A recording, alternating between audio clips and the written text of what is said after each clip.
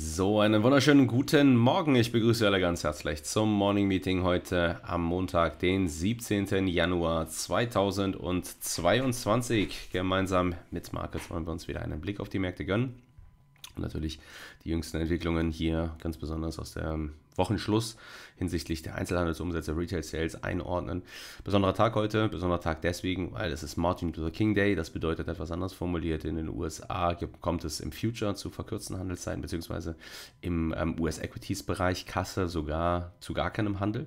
Das bedeutet also für mein Trading zum Beispiel mit Fokus auf den ähm, US-Equities-Bereich, dass mein Trading sehr wenig bis gar nicht heute stattfinden wird. Ich werde mich stattdessen eher vorbereiten für die kommenden Handelstage, denn dann geht es richtig rund. Dann haben wir nämlich den offiziellen offiziellen, in Anführungsstrichen, Earnings Kickoff mit diversen, auch jetzt Financials diese Woche schon, die ähm, ähm, Zahlen liefern. Goldman Sachs, Morgan Stanley, Bank of America, beispielsweise um Nummer 3 zu nennen. Aber ähm, wir haben zum Beispiel auch dann schon so eine Idee vielleicht, in welche Richtung es im Tech-Sektor geht. Ähm, Netflix nämlich wird Donnerstag ist es, nachbörslich Zahlen berichten. Auch darauf werfen wir natürlich einen kurzen Blick. In dem Zusammenhang ganz interessante Konstellation nach dem Breakout, der dort ja im äh, Ende des dritten Quartals war es, 2021 stattgefunden hat, sehen wir jetzt ein Wiedereintauchen in die Range.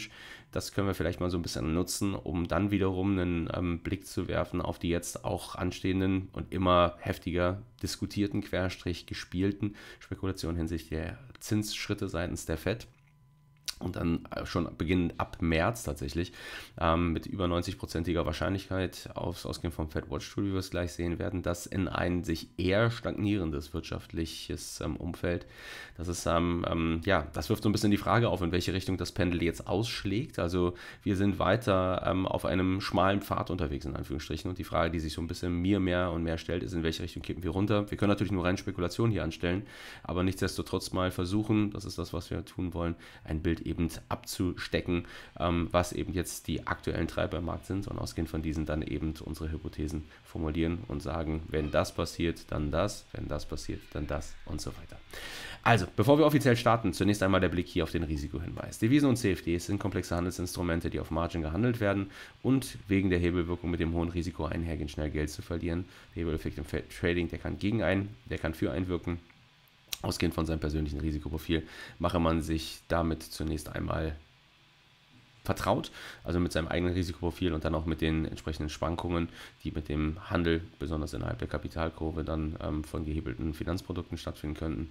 Wenn man dann für sich feststellt, ähm, dass man das mal ausprobieren möchte, kann man das gerne tun. Markus com slash de. Dort hat man die Möglichkeit, sich eine kostenlose, risikofreie Demo herunterzuladen, den Handel dann zu üben und dann ausgehend hiervon früher oder später, sollte man dann für sich feststellen, der Handel, das passt, dann entsprechend ein Live-Konto natürlich auch eröffnen. Alle weiteren Informationen zum FX- und CFD-Handel auf der Webseite markes.com slash de. Da findet ihr auch alle Informationen zur Produktpalette generell über FX- und CFD-Produkte hinaus, physische Aktien, ETFs und dergleichen. Nutzt gerne die Möglichkeit, Elena eine E-Mail zu schicken. Nutzt gerne die Möglichkeit, jetzt hier im Livestream des Events ähm, eure Fragen rund um die Märkte zu stellen die ich euch gerne beantworten wollen würde.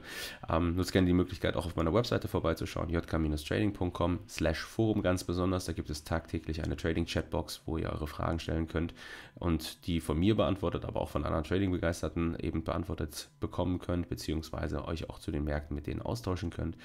Discord-Community beispielsweise. Kontaktiert mich, wenn darüber hinausgehen, noch gerne auch bei Twitter, beispielsweise at jensklattfx ist dort mein Kürzel. Ähm, kurz überlegen, kurz überlegen, kurz überlegen. Ich glaube, das war es größtenteils. Schickt mir auch gerne eine Mail. Aber jetzt blicken wir hier einmal so, einmal in die Handelsplattform. Wir sehen es jetzt schon bereits, ein verhältnismäßig dünner Handel, beziehungsweise nicht nur dünner Handel, sondern auch volatiler Handel, den wir im DAX zu sehen bekommen. Ein Impuls auf der Unterseite kurz mal in Richtung der 15900er Region. Ich hatte es heute früh ähm, geschrieben gehabt. Und zwar im Hinblick auf die 870er Region, roundabout. Ähm, da potenzielle Unterstützungsregion 870, 900. Auf der Oberseite ist es 16.000er Region. Ähm, was wir tun wollen, ist an dieser Stelle einen ähm, Blick erstmal hier jetzt werfen. Also beziehungsweise ich werfe jetzt mal diesen Blick. Einen Moment. So. Ob hier alles gut gestreamt wird. Das sieht aber schon mal sehr gut aus. Ich glaube, ich habe nicht Guten Morgen geschrieben. Das muss ich noch ganz schnell nachholen. Einen Moment. Hier kommt das rein.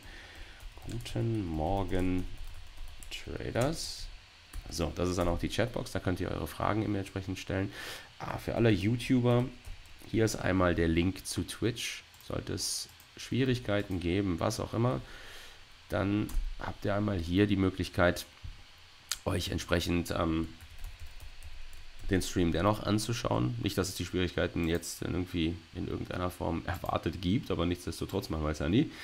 Ähm, dann will ich ganz kurz einmal hier noch den Link teilen. Den muss ich mal ganz kurz erstmal hier kreieren und zwar für die Discord-Community und hier die Trading, den Trading-Bereich. So, da habt ihr auch die Möglichkeit, euch dann entsprechend auszutauschen. Ähm, wie gesagt, heute wird es relativ dünn sein, aber ihr habt schon mal einen Überblick auf jeden Fall. Zum Beispiel hinsichtlich hier dieses Earnings-Kalenders, den findet ihr dort. Beispielsweise habe ich ihn schon eingestellt mit der Übersicht dann der hier veröffentlichten Unternehmen jetzt in den kommenden Handelstagen. Also nicht heute, wie gesagt, Feiertag, aber dann ab morgen vorbörslich bereits Goldman Sachs beispielsweise dort als möglicher Impulsgeber. Dann Mittwoch vorbörslich Bank of America, Morgan Stanley. Nachbörslich Alcoa. Dann haben wir noch diverse Airlines in dem Zusammenhang hier American Airlines, United ähm, beispielsweise. Vielleicht auch so, ein, so, ein, so, eine, so, eine, kleine Idee, könnte ein bisschen volatiler werden vor dem Hintergrund. Jetzt natürlich auch der Frage Omikron und ähm, wie, welche Auswirkungen hat das dann entsprechend eben auf die, auf die Airlines in dem Bereich und auf ihr längerfristiges Geschäftsmodell. Aber hauptsächlich wird man feststellen, wenn man sich das hier anschaut, mit Ausnahme jetzt natürlich hier von, von Netflix, die herausragen, sind es halt viele, viele, viele, viele Financials, die dort eben entsprechend anstehen. Und da macht es vielleicht dann auch durchaus Sinn, gleich mal hier XLF mit einzuholen. Das ist der ähm, ETF, der den Financial Sector abbildet. Da werfen wir dann später auch mal einen Blick drauf. Hatten jüngst sehr, sehr starken Breakout gesehen und liefert auch so ein bisschen, besonders wenn dieses Momentum fortgesetzt wird, auch eine Idee dafür, ähm, wie viel Skepsis eigentlich erwartet werden sollte. Also das wäre schon mal so ein erstes Argument, was die Bullen ins Feld führen in Bezug auf eben die Erwartung eines schärferen Rücksetzers, der da vielleicht früher oder später anstehen könnte. Ähm, wie gesagt, da blicken wir, blicken wir allerdings gleich drauf. Zunächst einmal starten wir hier mit dem DAX und eben der Besonderheit, dass heute dieser Martin Luther King Day ansteht und dass infolgedessen eben der US-Handel sehr dünn, verkürzt im Future-Bereich beziehungsweise dann im Equities-Bereich sogar gar nicht tatsächlich stattfindet. Ähm, grundsätzlich hat sich das Bild unwesentlich verändert. Wir haben am äh, Freitag mal ein wenig Abwärtsdynamik nochmal zu sehen bekommen, also eine Rückeroberung der 16.000er Region, die sollte es nicht sein, sondern stattdessen haben wir, haben wir, haben wir hier ein sehr, sehr choppiges Treiben tatsächlich zu sehen bekommen. Jetzt hangeln wir uns ein bisschen wieder in Richtung dieser Inflection um 16.000, also dieser blau gestrichelten Linie hier in diesem Fall. Schauen wir einfach mal, ob die Rückeroberung gelingt. Ähm, wie gesagt, Impulse seitens der US-Märkte, die wären dafür essentiell nötig. Ich glaube, ähm, das ist aktuell das wirklich Zünglein an der Waage hier, was dann auch der Wegbereiter für die weitere zu erwartende Price Action ist, da die heute ausfallen oder beziehungsweise nicht ähm, ähm, ähm dazu stoßen oder wenn dann nur sehr, sehr dünn dazu stoßen tue ich mich ein bisschen schwer damit, eine nachhaltige Eroberung der 16.000 zu sehen. Auf der Kehrseite muss man allerdings auch sagen, ähm, auch die Bären, die scheinen ähm, hier eher moderat nur in die neue Handelswoche starten zu wollen. Nach einem kurzzeitigen Flush, den wir hier zu sehen bekommen haben, kein weiteres Abwärtsmomentum, kein deutlicher Push unter die 15.900er Marke.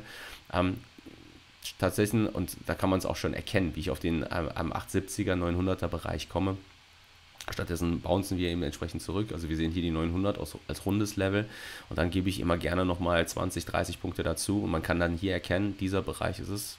Das wären dann schon 40 Punkte, das wäre ein bisschen sehr arg viel, deswegen gehe ich da lieber dann auf 10 Punkte in diesem Bereich, einfach als, als Region, wo der, wo der DAX wahrscheinlich gut unterstützt sein dürfte. Ja, und ja, wir sehen es. Also wir pendeln seitwärts unspektakulär. Also das ist kein Umfeld, in dem ähm, viel Freude eben tatsächlich vorherrscht. Also Impulsgeber, wie gesagt, sind sehr dünn. Wir haben keine wirklichen ähm, ähm News, die über den Ticker laufen, keine global makroökonomischen, weder Europa noch in den USA schon gar nicht. Wir haben keine ähm, ähm, ähm, impulsgebenden Quartalsberichte, die irgendwie Volatilität begünstigen. Also sprich lange Rede, kurzer Sinn. Trading Setup, da würde ich mich heute zurückhalten würde vielleicht eher die Möglichkeit nutzen, hier ein Setup zu formulieren, wo ich dann sage, das sind Niveaus oder das sind, das sind ähm, Level, die betrachte ich dann ab morgen und ab da sehen wir dann in Anführungsstrichen den inoffiziellen Start in die Handelswoche. Und ähm, ja, also die 16.000, sollten wir die 16 rausnehmen, muss ich ganz ehrlich sagen, ist noch nicht wirklich viel gewonnen, so möchte ich das mal bezeichnen, ähm, weil wir eigentlich eher ein klar bullisches Indiz geliefert bekämen, sofern es gelingt, hier den DAX über 16.100 zu befördern. Das wäre das, was die Bullen auf den Weg bringen müssten, um dann weiteres bullisches Potenzial freizusetzen, was uns in Richtung Allzeithochs um 16.3 eben tatsächlich führt. Ähm, wir können erkennen, also es ist ein grundsätzlich sehr, sehr neutrales Schaffen, ist schon seit geraumer Zeit, jetzt unabhängig auch davon, dass wir heute keine Impulse sehen, aber das geht schon seit geraumer Zeit so. Eigentlich, man könnte sagen, die gesamte letzte Handelswoche hier hat sich eigentlich ähm, hier darüber oder dahingehend ähm, unspektakulär dargestellt. Da gab es ein kurzes Aufschreien, mal, so sage ich mal, als wir hier letzte Woche Montag diesen, diese Attacke auf der Unterseite zu sehen bekommen haben, ähm, auf die, auf die 15.700er Region die wir dann allerdings haben halten können und wo dann eben mit den Äußerungen von äh, Jay Powell vor dem US-Kongress in Bezug auf seine Renominierungsrede eben ein Bounce stattgefunden hat, weil sich dann gezeigt hat seitens der US-Märkte, da kommt kein weiteres Abwärtsmomentum eben tatsächlich auf. Und ähm, weiter wirkliche Bullishness ist dann, hat nicht stattgefunden. Jetzt ist natürlich dann die Frage, warum konnte darüber hinausgehend nicht weitere ähm, Bullishness auf den Weg gebracht werden, wenn doch eigentlich die Äußerungen von Jay Powell den Schluss zulassen, dass man geldpolitisch ähm, hier Gewehr bei Fuß steht und ähm, ähm tatsächlich, ja, man möchte sagen, der Markt stabilisiert, sollte es infolge der sich jetzt abzeichnenden Verknappung der Liquidität oder ähm, nicht nur der Rückführung der Anleiheaufkäufe, sondern zeitgleich eben auch Zinsanhebungen, die sich zeigen und dann auch entsprechend ein, wenn auch passiver, aber dennoch Run-off des Balance Sheet stattfinden, also sprich eine Reduktion der ähm, ähm aufgeblähten Fettbilanz. Ähm, dass man, dass man dort aber dennoch ähm, diese Entwicklung natürlich genauestens beobachtet und ähm, dementsprechend entgegenwirken würde, sollte es hierzu in irgendeiner Form Verwerfungen kommen. Fakt ist, äh, ähm, dass das äh, nichtsdestotrotz eine Verknappung der Liquidität begünstigt, dass wir Rotation zu sehen bekommen, beispielsweise aus Equities in Bonds zurück zum Beispiel. Da müssen wir jetzt natürlich erstmal abwarten, äh, wie sie sich dann darstellt und dann brauchen wir sicherlich auch etwas Geduld. Das wird dann in den nächsten Monaten, wird das erst offenbar werden, wahrscheinlich, ähm, wie sich solch eine Rotation wirklich darstellt. Aber das sind dann alles so Gründe, weswegen der Markt dann vielleicht hier so leicht austoppende Tendenz eben ähm, fabriziert. In Bezug auf den DAX ist das, naja, ich, ich, ich schaue drauf, weil er eben ähm, unser, unser Heimmarkt ist. Aber das, was uns eigentlich mehr interessiert, was mich ganz besonders mehr interessiert, ähm, ist an der Stelle natürlich, was der Nasdaq produziert und ähm, den wollen wir uns gleich anschauen. Also nochmal die charttechnisch relevanten Level.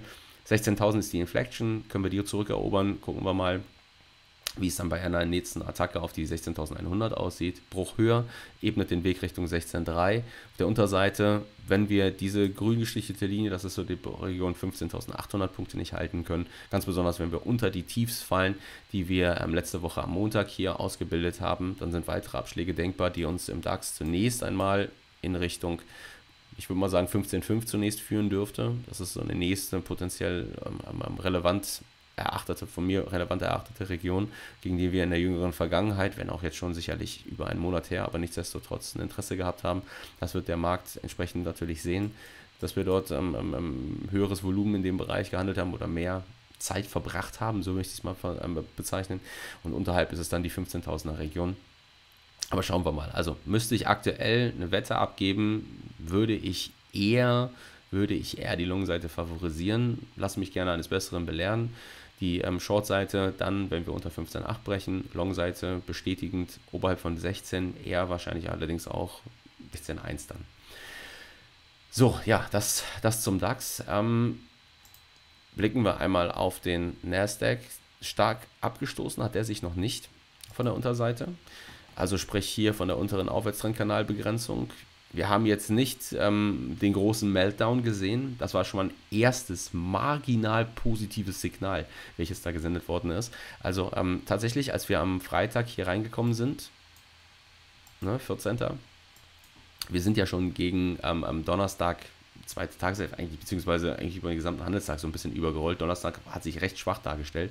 Und ähm, die Frage, die sich dann besonders am Donnerstag nach diesem schwachen ähm, ähm Handelstag ja, stellte, war natürlich, sehen wir jetzt den Follow-through. Das war die Attacke auf die 15.5 und wir haben dann in diesem Zusammenhang natürlich uns die Frage stellen müssen, wenn die bricht, dann bricht potenziell auch hier die Aufwärtstrendkanalbegrenzung, somit diese Kreuzunterstützung und dann es ist noch nicht ähm, ähm, Land unter dann an dieser Stelle, aber es ist zumindest mal denkbar, dass wir mindestens die, die 200-Tage-Linie nochmal anlaufen. Die verläuft zu diesem Zeitpunkt ungefähr im Bereich um 15.000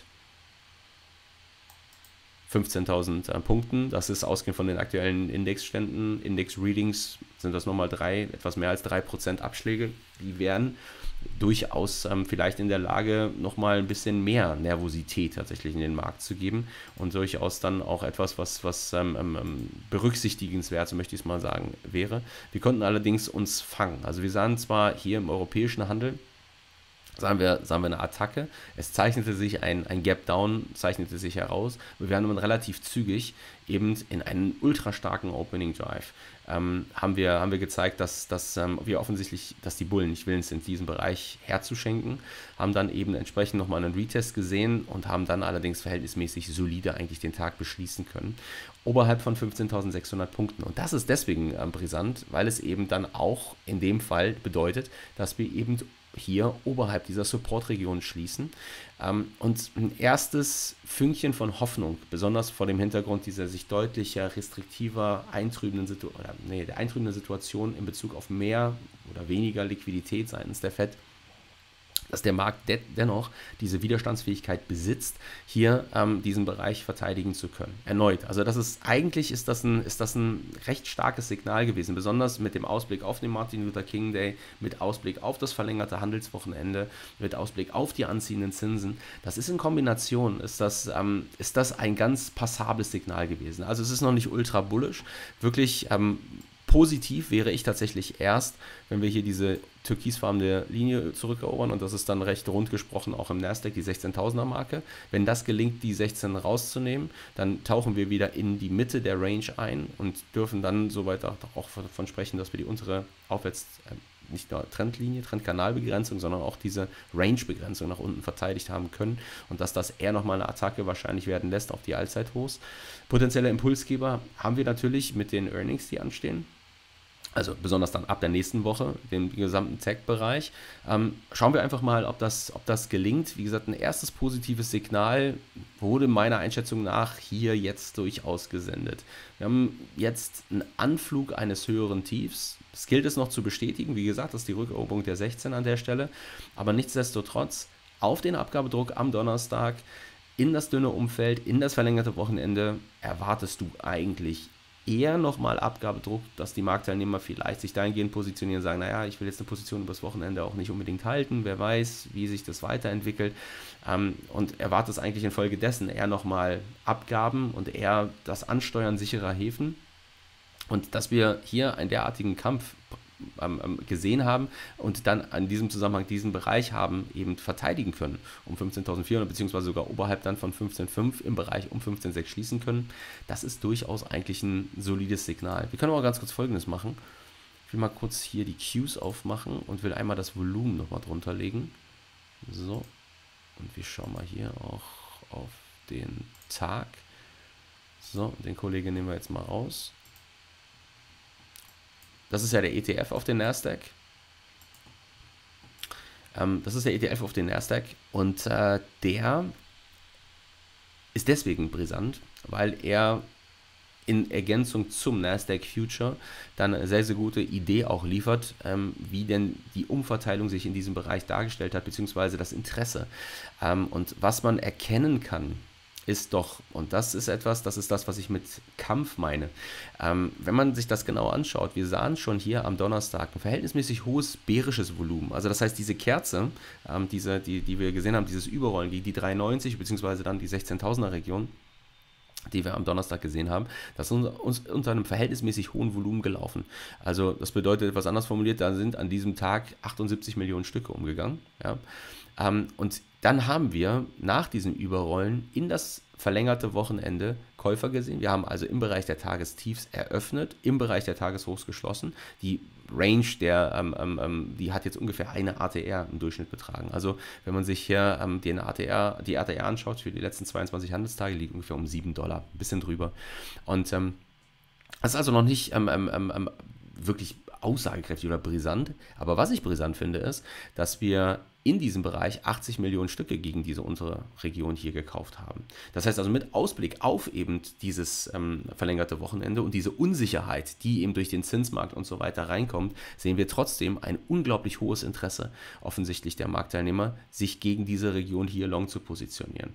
Ähm, und das ist ich finde ein starkes Signal eigentlich. Ähm, ich will es nicht überbewerten, aber nichtsdestotrotz etwas, was man im Hinterkopf behalten sollte. Wirklich, wirklich ähm, ähm, problematisch wird es in just jenem Moment, wenn wir dann zurückkommt hier auf den Nasdaq, unter die 15.2 rutschen, unterhalb derer auch schließen. Das wäre ein klar bärisches Signal, was auch weiteres Abwärtspotenzial freisetzen würde. Aber solange das gelingt, diesen Bereich zu verteidigen, muss ich gestehen, geht meine Tendenz eher in Richtung Bounce zurück, 16.000 und Close drüber. Was dann auch zeitgleich eben hier unterstreicht, weswegen weswegen ich für den DAX eher ein Long-Szenario eigentlich favorisiere. Ähm, und hier eher die Rückeroberung der 16.000 bzw. den Bruch über die 16.100er Marke sehe. So, wenn ich von Brisant spreche, ich mache schon mal Gold auf an der Stelle, ähm, als stark positiv eben zum Zinsmarkt korreliertes Asset. Wenn ich von Brisant spreche, dann ist es so, dass wir natürlich hier den Zinsmarkt aktuell uns anschauen sollten. Beziehungsweise ich mache noch was anderes. Also das ist jetzt einmal das Fed Watch Tool wo wir gleich einen Blick drauf werfen, aber wir machen auch mal hier kurz nochmal die zehnjährigen Zinsen auf. Auch die haben einen relativ starken Drive gesehen, obwohl, nee, die sind heute zu. Also die, die werden hier gar nicht, also die werden zwar auch gehandelt, aber nichtsdestotrotz, ähm, das ist die Entwicklung von Freitag, auf die wir uns ähm, hier fokussieren wollen. Da hat vorbörslicher Handel noch nicht stattgefunden. So können wir, hier können wir das erkennen. 14. ab US-Markteröffnung 15.30 Uhr also die Zeitstempel 1,71% und dann haben wir den Tag beschlossen um 1,78%, 1,79%. Das sind 8 Basispunkte ungefähr höher. Ähm, das ist eigentlich eine riesengroße Bewegung. Und wenn du in dieses anziehende Zinsumfeld, besonders im Tech-Bereich, eine derartige ähm, Bullishness siehst, ähm, dann siehst du eben dass das eben gerade ein, ein Wandeln auf des Messers Schneide im übertragenen Sinne ist. Ähm, diese Zins, äh, dieser, dieser, diese, diese Zinsspekulation, die spiegelt sich auch dahingehend wieder, dass wir eben hier beispielsweise im Fed Watch Tool jetzt sehen, dass die Marktteilnehmer mit nunmehr über 90 Prozent, also fast mehr als 9 von 10. Ja, also selbst derjenige, welcher eine aus den 10, der ähm, jetzt mal bildlich gesprochen, eigentlich eher davon ausgeht, dass die Fed den Zins noch nicht anheben wird, selbst der ist nicht ganz sicher und geht tendenziell eher in Richtung Zinsanhebung, um es mal anders zu formulieren. Und ähm, was ich jetzt in dieser Konstellation eben interessant finde, ist, dass der Markt es offensichtlich schon als abgemachte Sache im Grunde genommen sieht, dass die Fed hier auf ihrer Sitzung dann im März, nicht jetzt hier im Juni, äh, im Juni sage ich schon, im Januar, die findet statt nächste Woche Mittwoch, also das heißt ähm, am 26. Da wird keinerlei Zinsschritt erwartet. Das ist auch nicht ähm, ähm, überraschend, ausgehend vom Umstand, dass die ja auch noch dabei sind, die Anleiheaufkäufe zu reduzieren, ihr QE-Programm zurückzufahren und in eine solche Reduktion es eher ungünstig wäre, vielleicht schon so eine Art Panik irgendwie suggerieren würde, wenn man jetzt in solch eine ähm, ähm, ähm, ähm Reduktion dieses unkonventionellen geldpolitischen Experimentes Zinsanhebungen auf den Weg bringt, infolge ganz besonders dann im Zuge der, der, der anziehenden Inflation. Aber Jetzt kommen wir nochmal zurück hier auf die, auf die ähm, ähm, März-Sitzung. Da sind die Anleihen dann zurückgefahren. Das ist das letzte Meeting, wo dann eine Rückführung auf den Weg gebracht ist. Und dann in dem Zusammenhang wird gleich mit über 96-prozentiger Wahrscheinlichkeit, oh, jetzt sogar. Ich habe gerade eben, waren wir noch bei, bei ähm, 86. Ähm, jetzt, ist es, sind, wir, jetzt sind wir sogar bei, bei, bei 97 Prozent. Also fast alle. Fast der gesamte Markt hier, ausgehend von den ähm, ähm Optionsmärkten, ausgehend wovon man diese Wahrscheinlichkeit hier extrahiert, um diese Balkendiagramme zu erstellen, geht jetzt davon aus, dass die FED an den Leitzins schon um 25 Basispunkte wird anheben.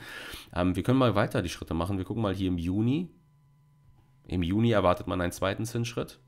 Da, also das ist das Niveau, was wir nach dem März-Meeting ähm, haben sollten. Hier sieht man dann den Balken mit einer Wahrscheinlichkeit sogar von ebenfalls fast 90 Prozent, dass es da einen zweiten Zinsschritt gibt. Dann gucken wir mal im September.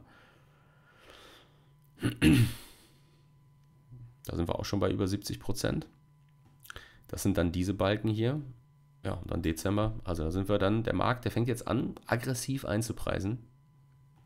Der Markt fängt an, aggressiv einzupreisen, dass die FED bis Jahresende auf ihren Quartalssitzungen in Anführungsstrichen. Also sie sitzt ja alle sechs Wochen zusammen, aber auf jenen, die März, September, äh, März, Juni, September und Dezember hier ähm, ähm, ähm ihre, ihre, ihre Leitzinsentscheidungen eben halten, ihre Meetings dann halten, ähm, erwartet auf diesen entsprechend jeweils eine Zinsanhebung 25 Basispunkte. Das ist brisant. Ähm, das ist deswegen brisant, weil es nämlich tatsächlich dann wiederum nochmal unterstreicht, wie resilient eben der Markt sich darstellt. Also besonders wenn man sich den Tech-Bereich anschaut, der vom billigen Notenbankgeld abhängig ist ähm, und jetzt keinen Abgabedruck auf der Unterseite sieht. Und vor allem muss man sich auch mal vor Augen führen, ähm, Wir haben jetzt zum Beispiel am Freitag haben wir ein ähm, Umfeld zu sehen bekommen, welches eher Sorgen nach sich ziehen sollte. Und wenn sich die Situation besonders konjunkturell und besonders hier auch im Einzelhandel weiter beginnt einzutrüben, dann könnte ich mir vorstellen, wird früher oder später es zu einem ähm, ähm, ja, so eine Art Pushback kommen, so möchte man sagen. Also, dass man diese Spekulation, die sich jetzt hier dahingehend darstellt, 25 Basispunkt Zinsanhebung auf dem März, auf dem Juni, auf dem September, auf dem Dezember-Meeting, dass man anfängt, das zurückzufahren, was wiederum zu einem recht starken Rücksetzer im Zins führen würde, sofern sich die konjunkturellen Zahlen weiter in diese Richtung ähm, ähm bewegen, trotz weiter auch auf hohem Niveau stagnierender Inflationserwartung, beziehungsweise vielleicht gibt es auch hier so, so, eine Art Top-Out. Also das heißt, ähm, dass wir jetzt eher wieder in den kommenden Monaten äh, ein, so, so, so diesen Rollover-Moment sehen und dass wir eher jetzt so eine Art Peak gesehen haben, also Inflation erstmal eine Spitze gesehen hat. Ähm, also zumindest aus den offiziell verkündeten Zahlen. Ich denke, wir sind uns alle einig, dass wir nicht davon ausgehen, dass der Preisdruck, der sich auf breiter Front für die ähm, ähm, Güter des täglichen Lebens bei uns allen zeigt, ähm, dass sich das jetzt ähm, irgendwie in irgendeiner Form aufhält. Aber es wäre denkbar, dass man hier vielleicht dennoch so, so einen Peak-Moment irgendwie zu sehen bekommt. Und das in Kombination mit einer sich eintrübenden, ähm, eher übergeordnet konjunkturellen eintrübenden Situation, Retail-Sales, die mit minus 2,5 Prozent Month-on-Month am letzten Freitag veröffentlicht worden sind, sind, ähm, deutlich unter der Erwartung. Erinnert euch daran, ich hatte hier eine Erwartungshaltung für diesen Datensatz von minus 0,1 Prozent. Wir können mal ganz kurz gucken. Nee, Moment, previous stimmt gar nicht. Stimmt nicht, Verzeihung, das war der vorherige Datensatz. Der ist mit 0,2 veröffentlicht worden und ist dann niedriger ausgegeben worden, revidiert worden. Ich müsste jetzt mal tatsächlich gucken, wo die Erwartungshaltung lag. Also wir liegen auf jeden Fall, so viel kann ich sagen, ich glaube minus 0,8. Waren es minus 0,8? 0,8. Ich bin mir nicht sicher, 0,3, 0,4. Ich werfe die ganzen Zahlen so ein bisschen durcheinander, weil es auch einige sind. Aber ähm, also, lange Rede, kurzer Sinn. Fakt ist, ähm, der Datensatz, den wir jetzt hier gesehen haben, Einzelhandelsumsätze, in dem Fall ohne ähm, ähm Fuel, also Gas bedeutet ähm, Benzin, beziehungsweise Automobile an dieser Stelle auf Monatssicht, MOM, ähm, ist deutlich unter der Erwartungshaltung auf jeden Fall veröffentlicht worden. Und äh, das ist deswegen brisant. Das ist deswegen brisant, weil zum einen, wie ich es schon mal so häufig eigentlich gesagt habe, zum einen es eben so ist, dass wir mit dem Einzelhandel eigentlich das Rückgrat der US-Wirtschaft haben, äh, beziehungsweise des BIPs. Das macht über 30 Prozent ähm, dieses Datensatzes zum Bruttoinlandsprodukt eben tatsächlich aus. Und ergänzend dazu, der Einzelhandel eben auch ein relativ gutes ähm, Barometer eben dahingehend ist, wie sich diese Pandemie, Lockdown-Politik und dergleichen eben dann darstellt in Bezug auch auf das Konsumverhalten eben dann ähm, der, der, der Bevölkerung.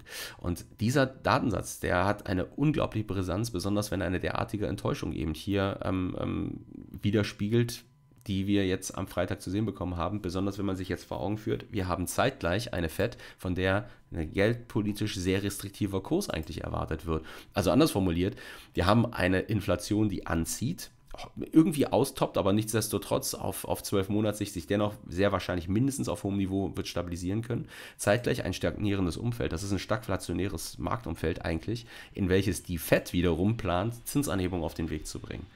Ähm, das ist gefühlt ähm, nur schwer vorstellbar, dass hier ein sehr restriktiver geldpolitischer Kurs sich herauskristallisiert, besonders auch vor dem Hintergrund vielleicht der auch gesellschaftlichen Spannungen, die sich zum Beispiel in den USA zeigen ähm, und auch dem politischen Gegenwind, den beispielsweise Joe Biden sieht. Wir haben dort jetzt anstehende Wahlen. Ähm, wie heißen diese?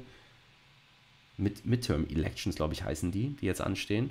Ähm, das heißt also, da geht es dann auch um, um ähm, ähm entsprechende Positionierung der Demokraten, Querstrich Republikaner, besonders aber im Hinblick auf Joe Biden, der Demokraten, eben im Kongress bzw. im Senat an dieser Stelle.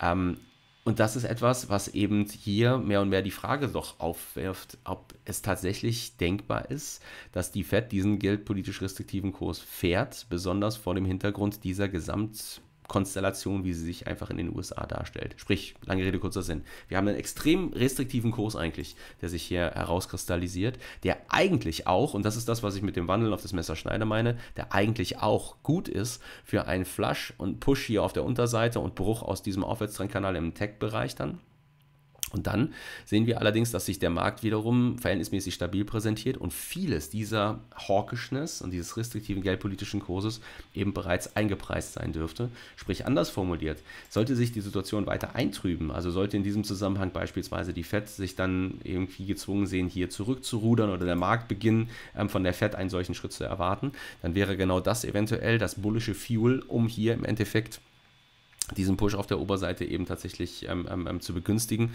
und in dem Fall den Weg im, S äh, im, im Nasdaq in Richtung neuer Allzeithochs, aber eventuell auch im S&P auf neue Allzeithochs eben zu befeuern. Der stellt sich, weil er auch breiter aufgestellt ist und nicht so einen ausschließlichen Growth ähm, ähm, Fokus natürlich hat, sogar relativ stark da. Also ähm, Resilienz, ich, ich, wie gesagt, im Tech-Bereich ist das, ist, das ein, ähm, ähm, ist das sicherlich wichtig, aber es ist eben auch ähm, im breiten Markt erkennbar, dass offenbar ähm, hier vielleicht sogar noch ein Stück weit eher eine unglaubliche Stärke sich irgendwie herauskristallisiert. Es ist zwar, wenn man sich das Bild anschaut, natürlich ein neutrales Treiben, in dem wir uns hier aufhalten, aber wir sehen kontinuierlich eigentlich auf diese kurzen Flush-Out-Momente auf der Unterseite, kontinuierlich eigentlich, dass da Nachfrage reinkommt und dass sich auch fortwährend höhere Tiefs ausbilden.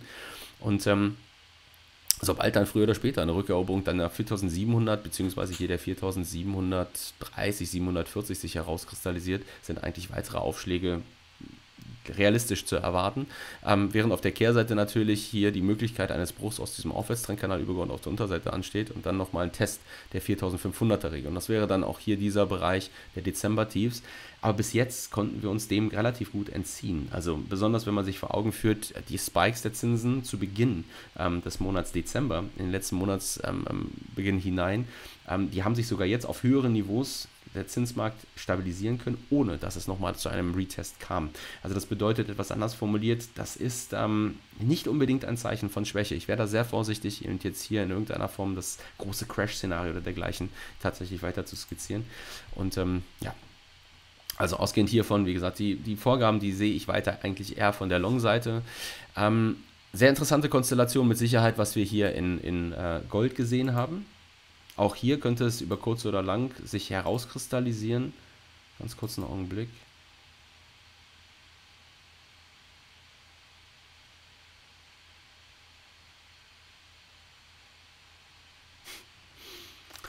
ähm, dieses gerade skizzierte Szenario äh, in Bezug auf diese stagflationäre Tendenz und auch diese Resilienz des Tech-Sektors, das lässt sich im Grunde genommen fast eins zu eins meiner Einschätzung nach auf äh, Gold anwenden. Ähm, ich muss ganz ehrlich sagen, dieser Spike in den Zinsen auf der Oberseite, der nicht damit korrespondiert, ähm, dass, wir, dass wir hier einen scharfen Rücksetzer sehen. Also ja, wir sehen zwar intraday eine erhöhte Volatilität und wir haben auch dann beispielsweise hier am, am Freitag zum Beispiel auf diese, auf diese Retail-Sales-Zahlen, wir sehen es, einen kurzen Pop auf der Oberseite gesehen. Das hier oben links ist der 5-Minuten-Chart, also ein kurzer Pop, beziehungsweise dann ein Überrollen und dann eher weiteren Abgabedruck, der uns hat recht deutlich wieder runter unterhalb der, der dieser potenziellen Ausbruchregion um 8,30 ähm, aus, dem, aus der Handelswoche gehen lassen. Aber der Markt, der wieder erholt sich relativ gut. Also mit Sicherheit jetzt durch das dünne Umfeld begünstigt, müssen wir mal schauen, aber ähm, wie, wie sich das weiter darstellt. Aber ich finde auch hier eigentlich dieses deutliche Halten oberhalb von 1800 US-Dollar, das ist eigentlich eher ein bullisches Signal. Und ähm, sobald sich, wie gesagt, hier dann beginnt wieder zu spiegeln, dass dieser restriktive geldpolitische Kurs, der jetzt recht aggressiv seitens des Marktes eingepreist wird, nicht wird halten können. Ähm, und die FED von diesem abweichen muss, sich restriktiv eben nicht so derart scheint, sondern eher expansiver darstellt, eher maximal zwei bis drei Zinsanhebungen im Jahr 2022 werden lässt. Das sind alles dann potenzielle Wegbereiter für einen stark bullischen Breakout, der uns hier über 1830 bis in Gefilde 870 relativ zügig führen könnte, vielleicht dann sogar höher. Das heißt also, die Wahrscheinlichkeit eines bullischen Breakouts ist meiner Einschätzung nach eher noch gewachsen im Laufe jetzt der letzten ähm, ähm Daten, die reingekommen sind, auch zu den Retail-Sales-Zahlen. Und ähm, wir können ja auch erkennen, also hier auf der Stundenbasis, Aufwärtssequenz, die sich jetzt beginnt hier so herauszukristallisieren. Ich würde mal jetzt ganz grob sagen, solange wir diese Trendlinie halten können, beziehungsweise die 810, ähm, so diesen Bereich um diese, um diese Tiefs von, von Freitag, beziehungsweise ähm, Donnerstag schon, bin ich eigentlich recht guter Dinge, dass da über kurz oder lang sich ein bullischer Breakout anschließen könnte, der dann, wie gesagt, mindestens den Weg bis 870, vielleicht sogar bis 1900 US-Dollar pro Feinunze eben ähm, ähm, freilegen könnte. Ähm, Goldschenk fragt nach Euro, US-Dollar und Öl. Oh, jetzt, oh Moment, jetzt hat er sich hier ein bisschen aufgehakt. Da werfen wir auf jeden Fall einen Blick drauf. Euro ist deswegen interessant. Ähm, nicht, weil ich jetzt plötzlich ein Freund davon bin, aber könnte mir vorstellen, dass da vielleicht noch weiteres bullisches Momentum ähm, ähm, ähm, freigesetzt wird, was uns bis in Gefilde um 1,1550, 1,16 führen könnte. Da werfen wir mal kurz einen Blick drauf. Einmal hier. So, also das ist der Euro-US-Dollar jetzt auf hier unten Tagesbasis. Hier oben ist der 5-Minuten-Chart, der für unsere Verhältnisse jetzt mal recht unspektakulär ist. Und hier oben Oh, rechts haben wir noch die Stunde. Ähm, also ganz kurz erstmal das übergeordnete Bild. Wir sind aus dieser Konsolidierung, die stattgefunden hat, auf der Oberseite ausgebrochen. Das überrascht mich, ehrlich gesagt, rein saisonal betrachtet zum Beispiel, ähm, ist, der, ist der Euro in keinem günstigen Umfeld aktuell. Also solch ein Ausbruch höher, den erwartest du eigentlich ähm, im Dezember. Ja, also das hatten wir saisonal hier mal durchaus aufbereitet gehabt. Im Saison, ähm, ähm, saisonal betrachtet ist der Dezember da wesentlich ähm, ähm, besser durch die ausgehend oder ausgehend von dann auch entsprechenden Kapitalflüssen, die sich durch ähm, ähm, reale Kapitalflüsse, die sich durch Unternehmen, US-Unternehmen besonders zeigen, zwecks Steueroptimierung und dergleichen. Und ähm, das hat nicht stattgefunden. Und dann siehst du allerdings von Beginn des Jahres eine Euro-Bearishness gleich zu Beginn des Jahres, die sich interessanterweise jetzt hier gar nicht herauskristallisiert. Das in Kombination mit, also diese Saisonalität, die eigentlich dagegen spricht, ähm, für, für, diesen, für diesen Break höher und ähm, auch die Entwicklungen aus rein politischer Perspektive bzw. gesellschaftlicher Perspektive, ähm, die, die sich weiterhin ja zeigen, ist, man, man hat so ein bisschen das Gefühl, ich, ich formuliere es mal ein bisschen groß, die Stimmung kippt. Ähm, vielleicht ist das auch bewusst herbeigeführt, also ähm, wie auch immer geartet. Ich könnte mir vorstellen, ähm, Stichwort Stimmung kippt, was, was das mit dem Markt zu tun hat, äh, besonders mit dem Euro, mit den Devisenmärkten zu tun hat. Ich könnte mir eben vorstellen, ähm, dass wir einiges noch an politischen ähm, Schwankungen eventuell zu sehen bekommen. Wobei dann wiederum sich bei mir so ein bisschen auf die Frage, also zumindest in Bezug auf Deutschland, die Frage stellt, ähm, welche politischen Schwankungen sollten sich denn abzeichnen? Also ehrlich gesprochen, Jetzt könnte man natürlich sagen, dass man zum Beispiel in irgendeiner Form erwartet, dass ähm, Herr Scholz irgendwie politisch in die Bredouille gerät, in irgendeiner Weise ähm, und, und, und dass da eventuell dann in Anführungsstrichen Stimmung gemacht wird seitens der, seitens der ähm, CDU, CSU, dass dann irgendwelche, weiß ich nicht, Misstrauensvoten da auf den Weg gebracht werden, um mal ganz weit zu spinnen. Und dann denkt man sich wieder, hm, eigentlich sind alle Parteien, mit Ausnahme einer, ähm, alle auf Linie. So möchte man es bezeichnen. Deswegen, also politische Unsicherheit aus der Perspektive ähm, scheint irgendwie nicht so wirklich realistisch, ehrlich gesagt.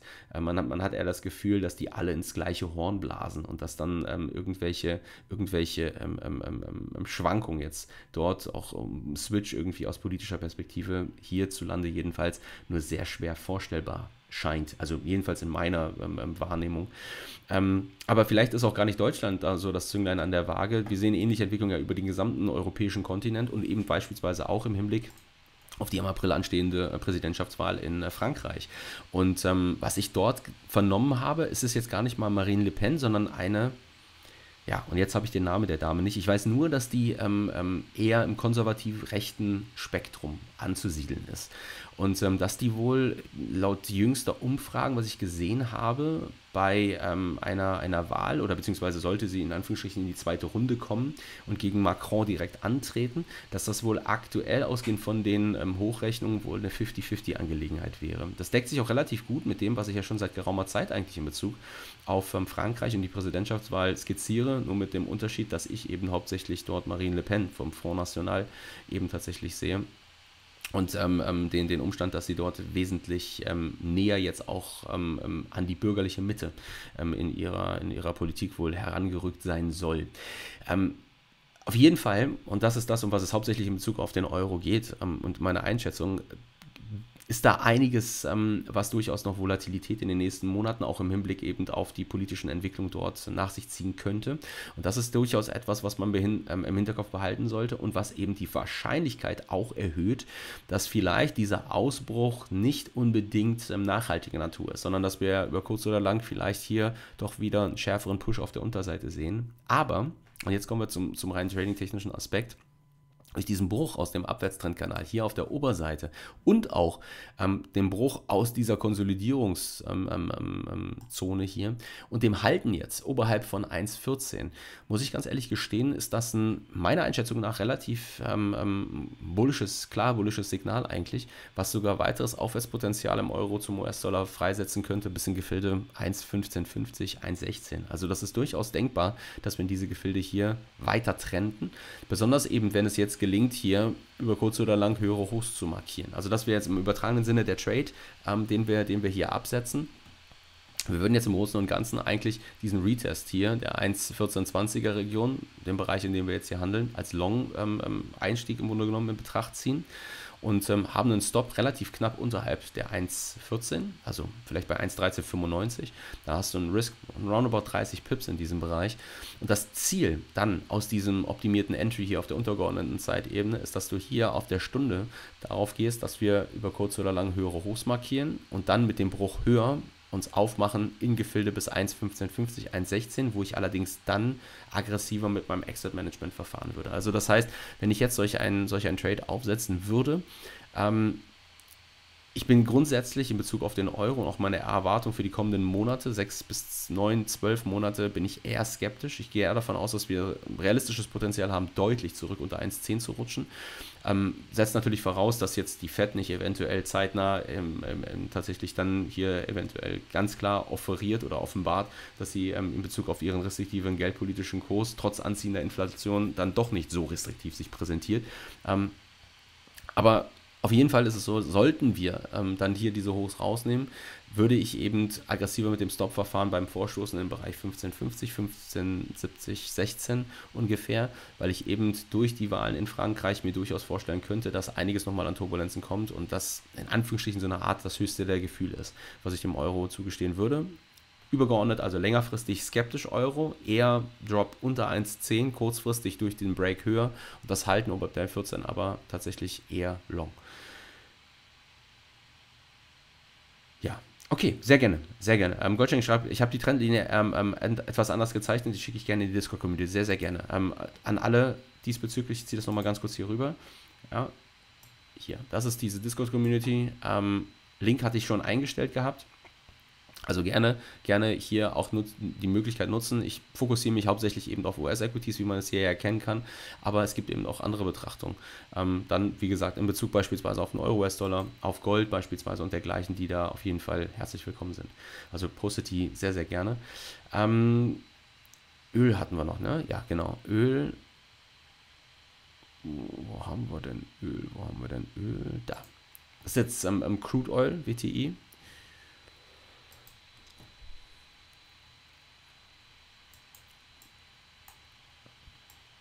Kommt wenig überraschend, ähm, diese, diese Entwicklung. Also ich hatte, ich ändere mich dran, wir hatten jetzt schon lange, lange Zeit hatten wir ähm, Öl nicht mehr so auf dem Schirm, glaube ich.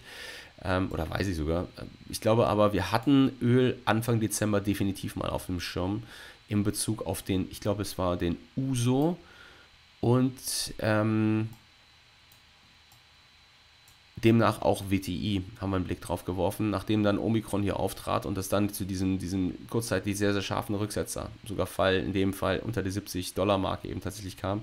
Und ich hatte, glaube ich, ähm, in dem Zusammenhang damals gesagt, dass das Chance-Risiko-Verhältnis technisch nicht die schlechteste Idee wäre, hier diese Region ähm, als möglichen ähm, ähm, Long-Einstiegsbereich, wie auch immer geartet, dann, also Trading-Setup hatten wir, glaube ich, nicht skizziert gehabt, aber in Betracht zu ziehen. Und ähm, ja, wir können hier sehr, sehr deutlich sehen, wir hatten zwischenzeitlich einen kleinen Top-Out gegen so 72, 50, 73 in diesem Bereich. Und nachdem wir diesen Bereich haben jetzt dann hier rausnehmen können ähm, und uns, ja, können wir uns können wir uns nicht und uns, sondern können wir uns deutlich eben wieder bullisch präsentieren und sehen eben jetzt den Zug in Richtung eben dieser jüngst ausgebildeten Hochs hier um 80, 85 Dollar ungefähr. Und ich muss auch gestehen, ich gehe eher davon aus, dass, ähm, ähm, dass wir hier dass wir hier ähm, ähm, vielleicht sogar über kurz oder lang vor einem, vor einem Lauf in Richtung und auch zurück über 100 Dollar eben tatsächlich stehen. Ähm, was natürlich jetzt hier ganz interessant ist, ist, ähm, jetzt wird man sich die Frage stellen, naja, wir sind schon relativ weit gelaufen. Ähm, das, ist, das ist definitiv richtig. Deswegen ist das hier jetzt so ein bisschen hakelig, einfach so, so, so ein Breakout-Trade auf den Weg zu bringen. Aber ich könnte mir vorstellen, vor dem Hintergrund der Signifikanz dieser Region hier, ähm, dieser, dieser Hochs, die sich dort im Bereich eben um 83, 83, 50 herauskristallisiert haben und die Gefilde, die wir jetzt hier vorgestoßen sind, ähm, ein Rücksetzer und dann halten aber diese Aufwärtstrendlinie könnte CRV-technisch ziemlich interessant sein, weil wir nämlich erwarten sollten, dass sofern es hier einen Break über dann diese 83-50er Region gibt, dass das dann eben der, der Wegbereiter für kurz, mindestens kurzfristig einen starken Momentumschub nochmal auf der Oberseite wäre. Also sprich, ich würde aktuell, ich zeichne das vielleicht mal kurz ein, ich würde aktuell Rücksetzer in Gefilde dieser ehemaligen Hochs, beziehungsweise dieser Trendlinie hier, das ist so ungefähr die 82er Region, würde ich ähm, long handeln wollen, mit dem Ziel, einen Bruch höher zu antizipieren, über die, über die ähm, machen wir mal 83,50. 83,50. Und das ähm, Vorteilhafte an solchem Szenario, ähm, was wir dann eben haben, ist, dass wir auch ein klares Level haben, gegen das wir riskieren können. Also sofern wir dann nämlich hier einen Bruch dieser Trendlinie sehen, allerspätestens ein Fall unter die 81, ähm, diese Trendlinie also gebrochen würde, wäre kurzfristig das bullische Momentum erstmal, würde zum Erliegen kommen. Also das hieße nicht, dass ich nicht dann immer noch davon ausgehe, dass wir weitere bullische sehen und über kurz oder lang einen Break höher zu sehen bekämen, aber zumindest mal ist das so, ähm, dass wir, dass wir ähm, ähm, bei einem Bruch dieser Trendlinie davon ausgehen sollten, dass eben ähm, erstmal das dann vielleicht zu einer Konsolidierung auf hohem Niveau oder dergleichen kommt und wir auf den nächsten Impulsgeber warten, der uns dann eben aus dem Trade rausholen würde an dieser Stelle. Also das heißt, Rücksetzer gegen diese Gefilde, vielleicht auch ein Stück weit tiefer, das hängt so ein bisschen davon ab, also vielleicht auch 81,50 müsste man mal schauen. Ein Rücksetzer auf jeden Fall gegen diese Trendlinie hier, ein Halten dieser Aufwärtssequenz, dieser Struktur bietet sich durchaus an für ein Play, ähm, was darauf abzielt, einen Bruch höher und dann eben einen Push deutlich zurück über hier die ähm, ähm, 2021er Jahreshochs eben zu, zu sehen zu bekommen.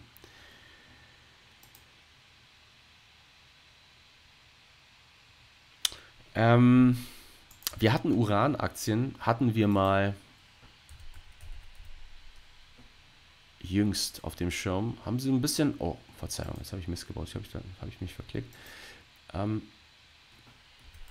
und zwar hatten wir mal Kameko hier zum Thema gemacht, CCJ. Guck mal ganz kurz, wo steht die aktuell? Ah, der Follow-through ist ausgeblieben bis dahin. Ähm, wir hatten die Aktie zum Thema gemacht. Und zwar hier war das. 12. Oktober, kommt das hin? Ich müsste jetzt kurz gucken. 12. Oktober, war das ein Dienstag? Ich weiß es nämlich relativ genau. Ähm, Ja, es war ein Dienstag, genau. Ähm, weil das nämlich dann plötzlich in meiner, in meiner Timeline aufploppte und weil das ein unglaublich hohes Volumen war und ein unglaublich starker ähm, Move eben tatsächlich hier. Also das war das zweieinhalb, dreifache ATR oder dergleichen in diesem Titel ähm, hier. Und das hat mich deswegen ganz ähm, äh, hat mich deswegen interessiert, weil das nämlich auch korrespondierte mit der ähm, ähm, sich abzeichnenden Koalition äh, der Grünen ähm, im Hinblick auf das Abschalten eben der, der, der Atomkraftwerke beispielsweise, während zeitgleich, besonders auch in Frankreich wiederum Wahl, zum Beispiel Emmanuel Macron nochmal hier in Richtung ähm, ähm, äh, wieder hochfahren der, der Atomkraftenergieversorgung dort des Landes Frankreich ähm, eben tatsächlich dann ähm, signalisierte oder beziehungsweise man da ablesen konnte, dass es ohne Atomkraft nicht gehen wird. Ähm, diese diese ähm, ähm, ähm, aktuellen Entwicklungen auch am Energiemarkt beispielsweise eben abzufedern, so möchte ich es mal bezeichnen. Und das bringt natürlich relativ zügig dann die Spekulation, dass wir vielleicht dann hier einen ziemlich scharfen Run uns bevorstehen sehen. Also wir können, eins können wir definitiv erkennen, eventuell sind wir schon relativ weit gelaufen eigentlich. Deswegen ist so ein bisschen jetzt die Frage, ob da nochmal so ein bullischer Breakout wirklich stattfindet. Eigentlich, vielleicht war der oder ist der Trade schon zwölf Monate her, als sich hier ganz klar herauskristallisiert hat, dass sie die 12-Dollar-Region haben halten können. Zwischenzeitlich hat sich die Aktie dann mehr als verdoppelt. Also nicht nur hier kam dann noch ein relativ scharfer Rücksetzer, sondern dann auch nochmal in den, in den Jahresschluss hinein, 2021. Ähm, also, das, das erstmal so ein bisschen die, die ähm, Sorge aktuell. Längerfristig, glaube ich, ist das nicht unbedingt die schlechteste ähm, Idee, ne, ähm, also besonders im aktuellen Umfeld. Auch zu den, oder ausgehend von den, den jüngsten, dem jüngsten Einknicken eben hier, nochmal dem Rücksetzer. Ähm, vielleicht einen Teil seines Portfolios ähm, hier in dem Bereich vielleicht zu parken, weil da durchaus nochmal eine verstärkte Nachfrage vielleicht sich auch dann herauskristallisieren könnte. Ähm, hängt sicherlich vieles davon ab, ähm, wie wir, wie wir, wie wir, äh, welcher Zeithorizont da am, am ange, ab, auf welchen abgezielt wird. Ich würde jetzt mal ganz grob erstmal sagen, und das haben wir in der Vergangenheit relativ häufig gesehen, die 200-Tage-Linie hier, die ich da reingelegt habe, die ähm, konnte bis dato immer sehr solide verteidigt werden und als Unterstützung fungieren, als eine Art Sprungbrett für dann nochmal einen schärferen Push. Also ich sag mal, Bereich 2050, 2070 vielleicht. Ähm, das ist Bereich um die 200-Tage-Linie. Wenn wir da nochmal einen, einen Entry kriegten, dann wäre ich durchaus willen, da nochmal ein paar Stücke zu kaufen. Stop läge dann knapp unterhalb der, der 20, würde ich mal sagen. Siehst du auch hier, also das ist auch ein psychologisch wichtiges Level, sollten wir das unterschreiten, dann sind auch nochmal weitere Abschläge von mehr als 10% denkbar, die uns hier bis in Gefühl um 18, 17, 50 vielleicht sogar führen könnten. Ähm ja, und der Trade, der würde dann im übertragenen Sinne darauf abzielen, hatten wir aber relativ schnell schon, der würde, also ein solides CRV dann auf der Oberseite, der würde dann sicherlich darauf abzielen, nochmal vielleicht die 28 anzulaufen. Also das heißt, wenn wir hier den Bereich um 20, 50 vielleicht, ja, oder 2080, wenn wir den bekommen, kommen wir hier ungefähr mit 80, 90 Cent Risiko in den Trade rein. Gehen auf der Oberseite auf die 28 nochmal als, als, als ähm, Bereich Hochs. In dem Zusammenhang haben CRV deutlich besser 10 zu 1. Also das, das wäre schon solide. Wir haben ein klares Level, gegen das wir riskieren. Ja. ja. Ähm, Stichwort Energie. Da machen wir, vielleicht werfen wir auch noch mal ganz kurz einen Blick drauf. Und zwar einmal hier auf Bitcoin, beziehungsweise, obwohl Bitcoin ganz besonders, Ethereum nicht so, aber Bitcoin. Ähm, also hier sieht es solide aus. Wir arbeiten an einer Struktur steigender Tiefs in diesem Fall. Also wir können derzeit hier die 42 halten. Wir haben dieses Level ja ähm, zurückerobern können nach dem, nach dem Flush, sage ich mal, oder diesen, diesen, diesen stark bärischen Vorgaben infolge anziehender Zinsen in den Jahresbeginn hinein und der kurzen Attacke auf und kurzen Push unter das 40.000er Level, ähm, haben dann uns oberhalb konsolidierend gezeigt, sind jetzt auf der Oberseite ausgebrochen und haben jetzt hier auf der Oberseite im Grunde genommen so eine Schlüsselregion 44.000, die es gilt zurückzuerobern. Ähm, Rücksetzer haben wir jetzt zu sehen bekommen auf die 42, die konnte gehalten werden und ähm, ja, nunmehr ist das eigentlich, also das ist eine potenzielle Ausbruchregion vielleicht sogar, das ist eigentlich ein bullisches Signal. Sollte es jetzt gelingen, zügig die 43,200, 43,300 hier zurückzuerobern, uns dann in Richtung 44 zu befördern, vielleicht sogar höher, dann wäre zügig denkbar, dass wir sogar bis in Gefilde um 46.000 eben tatsächlich vorstoßen. Und ähm, das Level, gegen was wir hier riskieren, ist im übertragenen Sinne auch ungefähr der 42.000er Bereich. Also auch hier CRV-technisch. Ähm, wir wissen recht zügig eigentlich, wann wir falsch sind auf diesen, auf diesen Gedanken. Wenn wir jetzt auf solch einen Bounce-Trade erstmal gehen, das würde das übergeordnete Bild jetzt noch nicht deutlich aufhellen. Ich will das vielleicht mal hier ganz kurz diese, diese Linie hier jetzt entfremden. Also was wir gerne sehen wollen, ist natürlich ein Bruch dieser, dieser, dieser Trendlinie hier hier oben ignoriert das mal, das ist, verzerrt so ein bisschen. Da sieht man auch, das ist ein Schlüsselbereich, in dem wir hier gerade handeln. Das heißt also, ein Bruch höher ähm, ebnet eigentlich schon fast zwangsläufig den Weg in Richtung der 46er Region. Besonders günstig wäre natürlich ein Schluss oberhalb von 46. Der könnte dann nämlich auch in den kommenden Tagen, Wochen Monaten, je nachdem, ähm, weiteres bullisches Potenzial ähm, ähm, freisetzen. Würde allerdings zunächst einmal diese Rückeroberung auch dieser, dieser 46er Region erstmal zeigen, nicht nur würden wir diese Abwärtstrendlinie hier brechen, sondern wir würden eben auch da diese 200-Tage-Linie zurückerobern, was vielleicht auch aus rein charttechnischer Komponente oder Perspektive hier ähm, ein erstes bullisches, klares Signal wäre, tatsächlich. Ja, so, das wäre es das wäre es soweit tatsächlich zum Wochenstart meinerseits erst einmal gewesen. Gucken wir nochmal final auf den DAX. Ja, wir hangeln uns aufwärts. Mal gucken, ob die 16 rausgenommen wird. Wie gesagt, Impulsgeber, Martin Luther King Day in den USA, Impulsgeber allerfrühestens morgen. Heute US-Handel sehr dünn, bis also verkürzt bis gar nicht stattfindend. Verkürzt ist der Future, das heißt bis 19 Uhr ähm, unserer Zeit wird dort der Future gehandelt. Alles, was darüber hinausgeht, ähm, ähm, ja, ist dann nur noch den DAX betreffend an der Stelle, der allerdings dort in der zweiten Tageshälfte natürlich immer ganz klar von den US-Märkten abhängt. Und in dem Zusammenhang sollten wir da keine großen Impulse erwarten. Kasse ist komplett geschlossen, deswegen gibt es heute auch keine Intraday ähm, ähm, ähm, Einzeltitel, die wir zum Thema machen. Wir, ja, wir fokussieren uns morgen dann auf den inoffiziellen Start, so nenne ich ihn mal, der Handelswoche. Und soweit meinerseits. Wenn euch das Video gefallen hat, lasst gerne ein Like hier, abonniert gerne den Kanal. Ähm, lasst gerne einen Kommentar unterhalb des Videos, wenn ihr Fragen habt zu weiteren Märkten, die ihr gerne betrachtet sehen wollt. Und ähm, ja, wir hören uns morgen wieder, gemeinsam hier mit Markets zum Morning Meeting um 10.30 Uhr, worauf ich mich riesig freue. Ich hoffe, ihr auch. Und ähm, ja, bis dahin, habt euch wohl, macht's gut, bis dann und tschüss.